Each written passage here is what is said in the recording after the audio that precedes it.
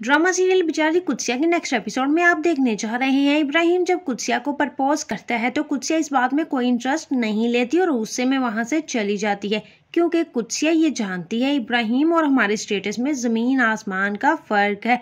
अनाया ये सारी बातें पीछे खड़ी सुन रही होती है। इससे ये बर्दाश्त नहीं हो पा रहा कि इब्राहिम ने इसे छोड़कर कुत्सिया को प्रपोज किया है।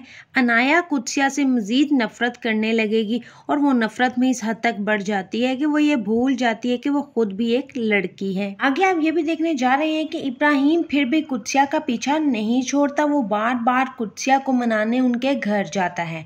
लेकिन कुत्सिया इब्राहिम की कोई बात नहीं सुनती और वो गुस्से में इब्राहिम से कहती कहती है, प्लीज़ इब्राहिम, तुम मेरा पीछा छोड़ दो। जो मेरी इज़्ज़त बनी हुई है, वो बनी रहने दो। मुझे बदनाम मत करो। जिस पर इब्राहिम कहता है, कुत्सिया, तुम मुझे गलत समझ रही हो। मैं ऐसा लड़का बिल्कुल भी नहीं हूँ। क्या कुत्सिया इब्राहिम की बात मान लेगी? अपनी राय का इजहार कमेंट बॉक्स में ज़रूर करें। वीडियो अच्छी लगी, वीडियो को लाइक और चैनल को सब्सक्राइब करना मत भूलिएगा। दुआओं में याद रखिएगा। अल्लाह हाफिज़।